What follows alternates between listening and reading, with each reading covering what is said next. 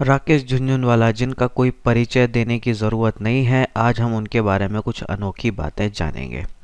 पहली बात यह कि राकेश झुंझुनवाला ने अपना शेयर बाज़ार का सफ़र पाँच हज़ार रुपये से नहीं किया था, जैसा कि ये भ्रम जो है कई लोगों को है। उन्होंने अपना सफ़र जो है ढाई लाख रुपए से शुरू किया था और ये पैसा जो है उन्होंने उधार लिया था, ब्याज पर लिया था। I had no money and my brother was a practicing chartered accountant, so he had a client whom he introduced me to.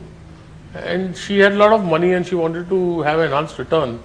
So I, you know, she was very well provided for. I said, why do you want to, you know, go into stocks? But I can do one thing that bank deposits pay.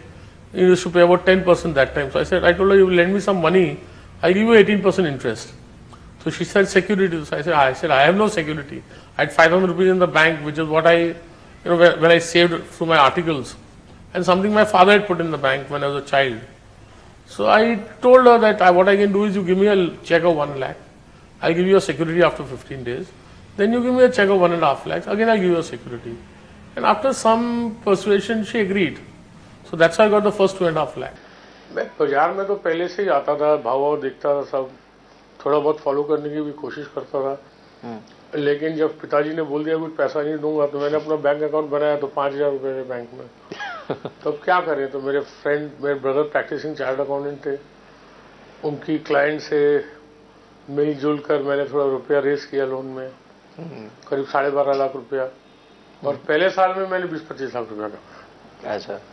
फिर दो तीन साल तो बहुत कुछ कमाई वमाई नहीं हुई। Okay okay. और फिर उन्नीस में अच्छी कमाई हुई।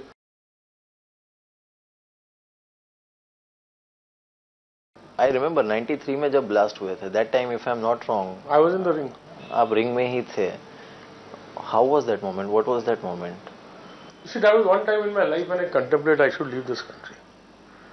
Because I said today, if the police can't do anything, tomorrow someone rapes my wife, what will happen? The police can't do anything. Hmm.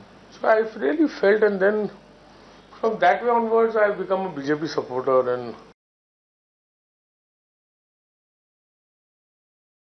my net capital employed in trading is 1 lakh.